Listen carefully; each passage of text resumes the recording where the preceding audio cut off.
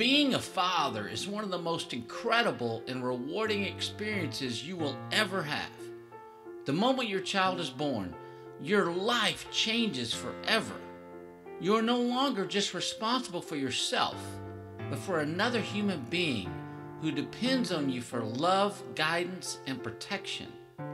Being a father means being a role model, a teacher, a coach, and a friend. It means being there to catch them when they fall, to celebrate with them when they succeed.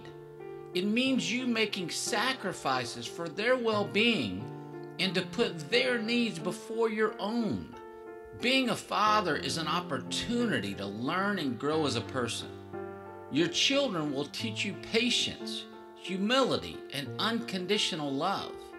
They will challenge you to be your best self and to strive for excellence in all aspects of your life.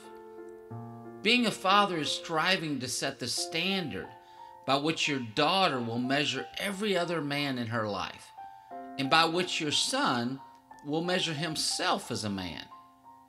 Being a father is not always easy, but it is always worth it.